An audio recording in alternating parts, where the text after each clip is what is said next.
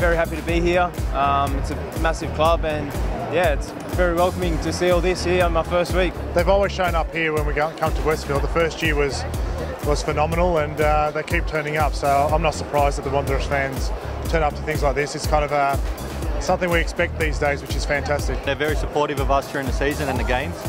So for us to be able to give them back this uh, opportunity to get things signed and see the team, I mean, it's uh, it's very important to us as a whole. It's crazy. I didn't realise there were so many dedicated fans out here.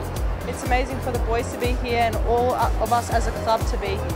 Uh, it's good to be back actually because like we have already experienced from before being here it's always amazing experience always good atmosphere and sort of after short break and after bad start it's good to see support again to have the fans here it's a great feeling because um, we get to show them how much we appreciate it so all the team love coming out here just to say thank you to them and it's a great day out it's incredible uh, they always turn out in numbers um, yeah, they're a passionate bunch and we really appreciate them turning out. It's A great day to be here. Um, this day's for them. Obviously, you know, all the support they've given us throughout the year.